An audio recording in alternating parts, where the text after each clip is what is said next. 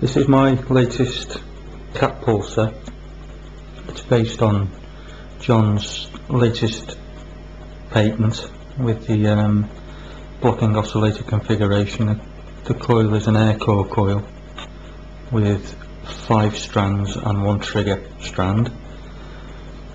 It's controlled by a PICAXE microprocessor which just helps keep the, the, the amount of logic chips down.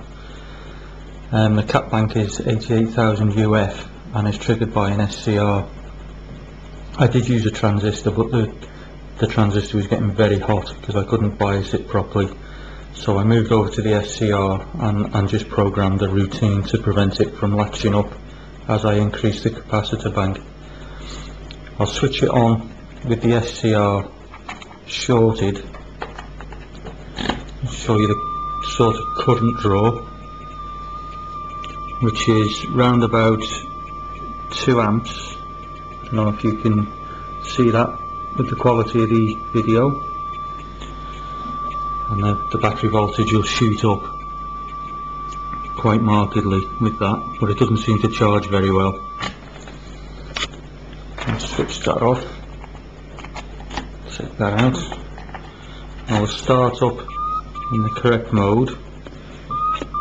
Now what's happening is the the circuit's detecting SCR latch up and then allowing more time between the the discharge cycle to, to allow the caps to empty the, to the battery voltage. So it may take five or six cycles for it to pick up. There we go. Oh let's reset again now it's running.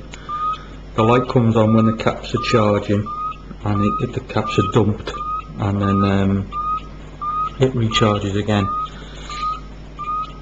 You can have a look at the voltage on the battery. You can see the the cap dump going in there. And the ammeters going absolutely berserk on the on the input it's being driven by a switch mode PSU with a, a large capacitor just to just to help it out and then through the ammeter and into the charge side of the circuit. It charges okay, it's not very efficient.